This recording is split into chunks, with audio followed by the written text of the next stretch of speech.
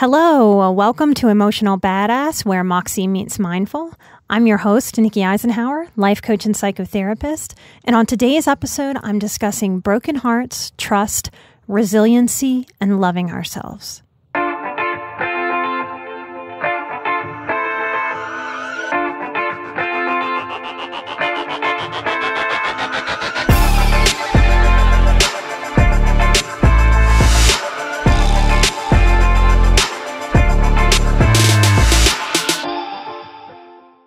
It is natural after a broken heart to feel the intensity of our feelings and believe them. After both of my divorces, I swore off of loving anyone else ever. I swore I would protect myself by never trusting again, by being singular and insulated from the possibility of another broken heart. I told myself, from the energy of broken-hearted betrayal, that I was fundamentally broken and needed to accept that relationships, that a family of any kind, was just not in the cards for me. Some of you hear that, and if you currently have a broken heart, or are on the other side of having betrayed yourself or someone betrayed you, usually it's a little of both, you might hear this and think, yeah, that's right. That's the right plan. That's what I'm going to do. I'm going to be smarter than this vulnerability crap and I'll never be hurt again. That's how I'll win life. Yeah, I'm going to do that. And walk into the sunset alone. The tragedy of our society not having emotional education is that we have all sort of stumbled in the dark even those of us born with an innate emotional intelligence because we've had little to no direction, or we've had a full on misdirection of our intuitive emotional gifts, and a miseducation about what is strong emotionally and what is weak, often flip flopping. Like teaching men for decades that toughness requires suppression and no emotional expression rather than allowing oneself to become vulnerable and real. And that's courageous. And it requires a deep, fortified strength versus the flimsy mask of strength with emotion hiding behind it, smushed.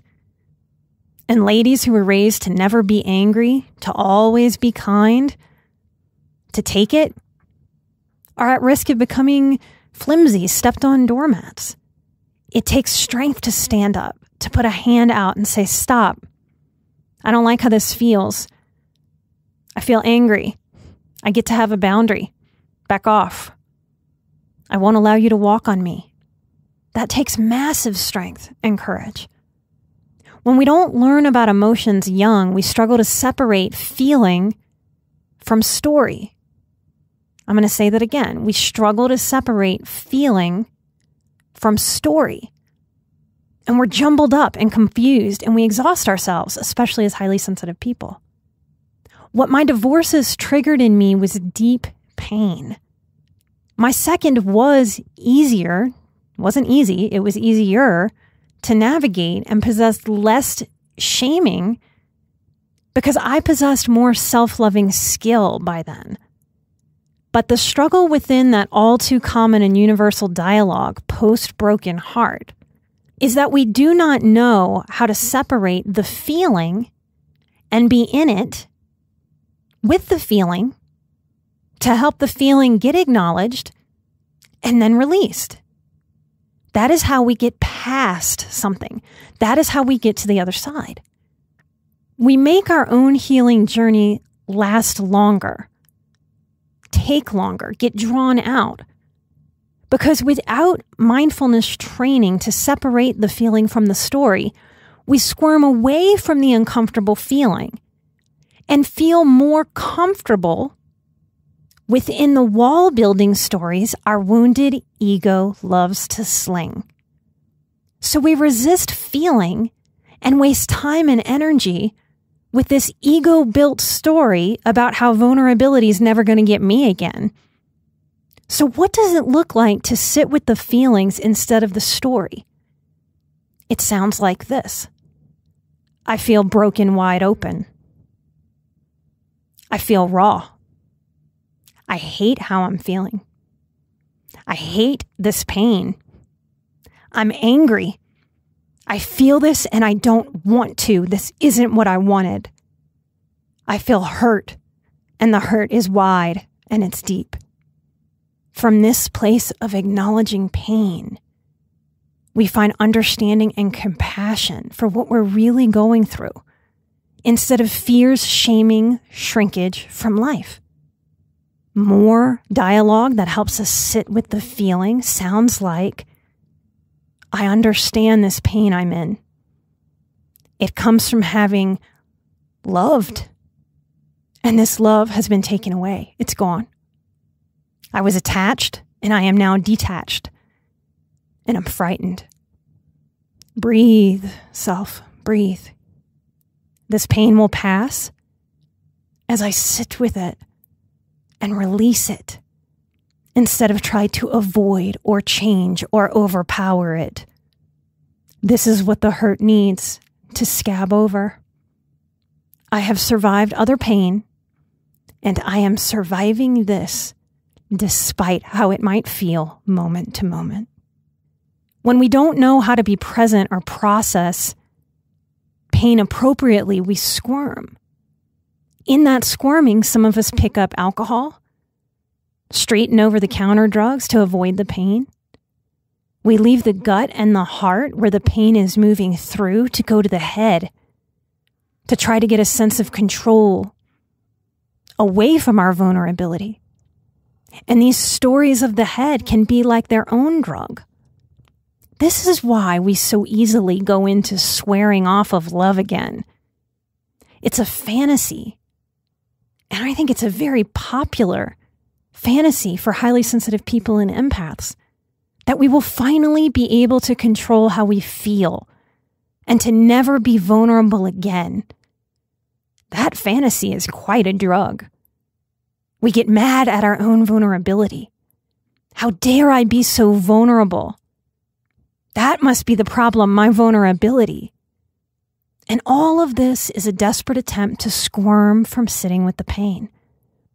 And we might prefer to just hold on to the story than actually let go and heal. So we hold on to what we think we can control, keeping all care for humans out, vulnerability out, self protection, walls up. We can choose blame of others or ourselves over this feeling.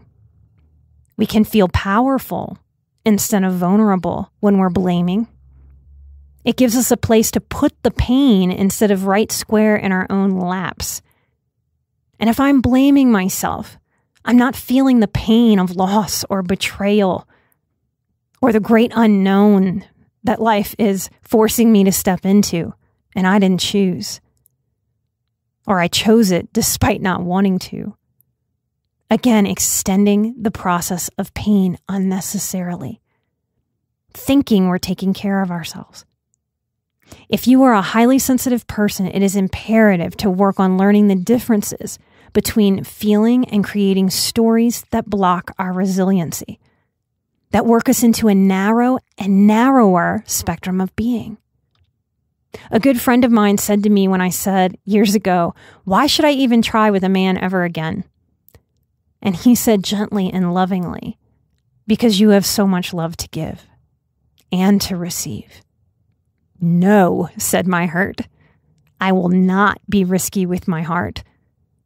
I can honestly say that the healing from my second divorce was much swifter, not because I cared less or had less of a broken heart, but because I knew that story wouldn't help me and I knew how to help myself shift out of story and experience the pain so it could move through and out of my body as quickly as possible. I don't believe I will ever be able to stop story from happening when pain strikes. It's a defense mechanism.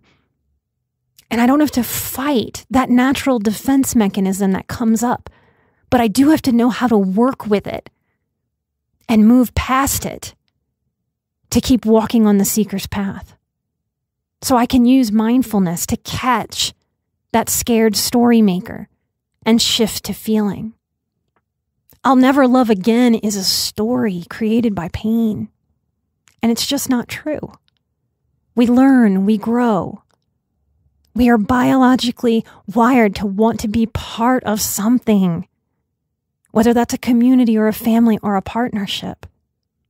We do not heal by shrinking from experiencing the world, shutting down, going inward. In making this shift to let go of the stories, I moved the pain out.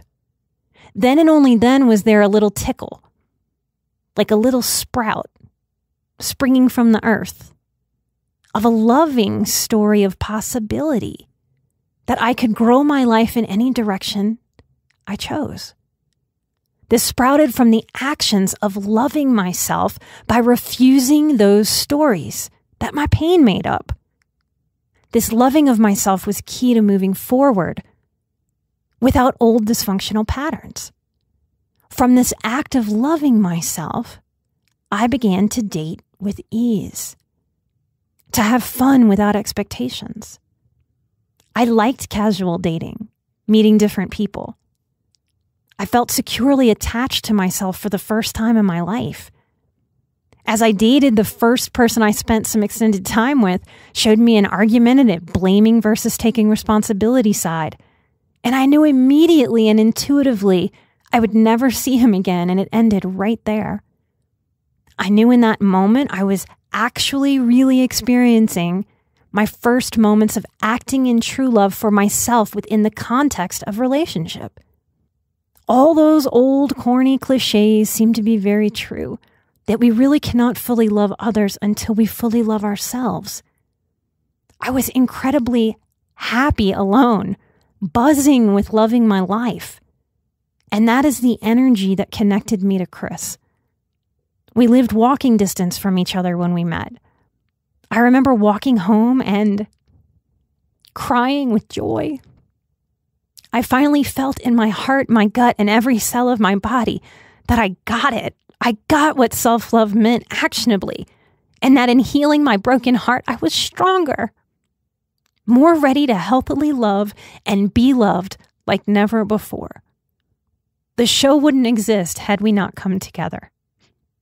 If you are in any pain right now, brokenhearted, I ask you to consider allowing yourself to sit with and through the pain. Rewind, listen to that language again. Write it out, make it your own. Take what works for you and leave the rest. And work to let go of the stories that try to box you in. Allow the pain to move through, and then when you are on the other side, allow life, allow love, allow compassion, allow possibility, Allow kindness to imagine and dream. Because the one thing I know for sure is that I can survive a broken heart. And my heart is stronger for the ways it's been broken open and mended. Scars are stronger than skin. And that goes for the emotional body too. If you are listening to this and you have had a broken heart, I know you survived it too and are stronger for it. You possess the power, no matter how you feel, to only choose stories that hold you and lift you up. If I'd have successfully walled myself off, the show wouldn't exist. You wouldn't you wouldn't know me. I'm so glad my stories failed to box me in. Sometimes it feels like a miracle.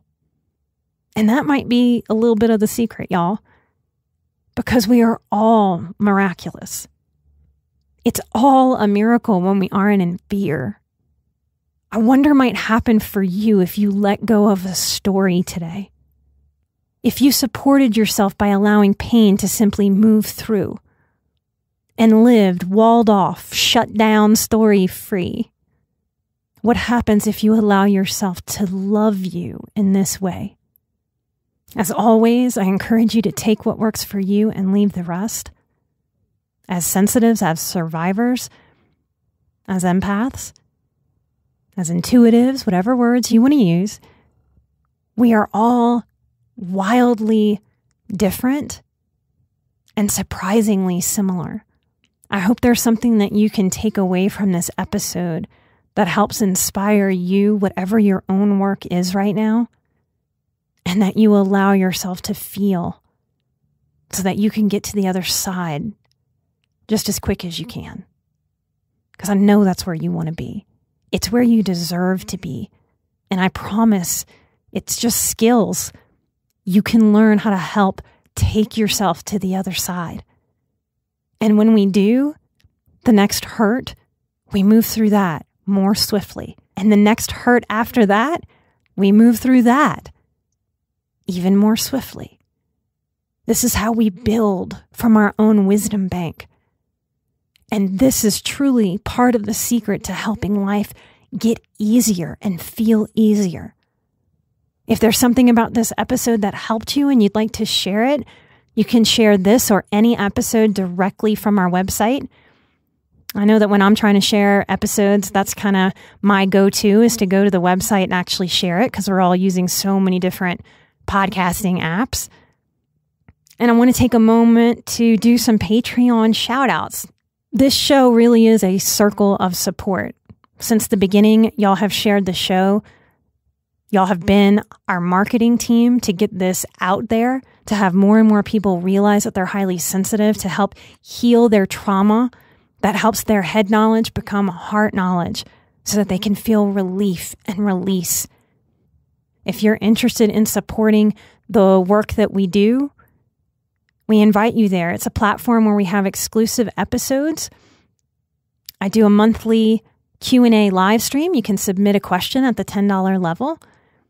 And that goes to cover all the expenses of the show. So if you want to do that, come hang out, come check it out. Some of the things on there are totally free, or you can sign on at the level that you're comfortable with.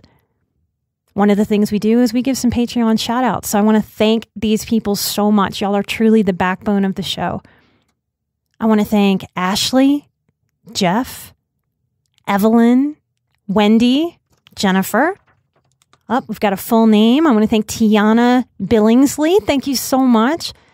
Anne, Bridget, Polly, Hanley. Thank you for bravely giving us permission to use your full name. I want to thank Debbie, Liz, Beth, Dee Dee, Nicole, Lisa, Janelle, Kate, Sarah, and Amber. We give 10% of our Patreon, we pay it forward. If you're interested to hear more of how we do that, you can go listen to the show about the gathering place. That was our last pay it forward recipient. It's a fantastic organization that supports the homeless and the struggling here in Denver light and love. And remember how strong your heart is. I'm an emotional badass, you're an emotional badass, and together we are where Moxie meets mindful. Light and love, and I'll see you next time. Bye bye.